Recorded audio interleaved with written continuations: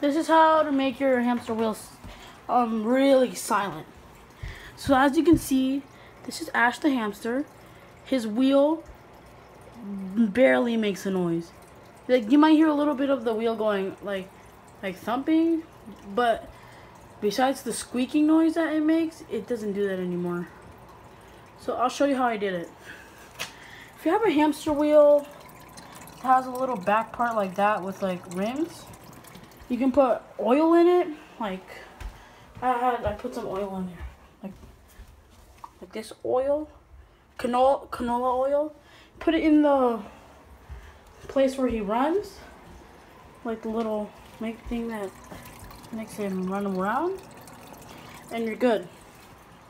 Um, that's just to make him. That's just that's just how to make it silent. But I'll go. I'll make a video on going how more in depth.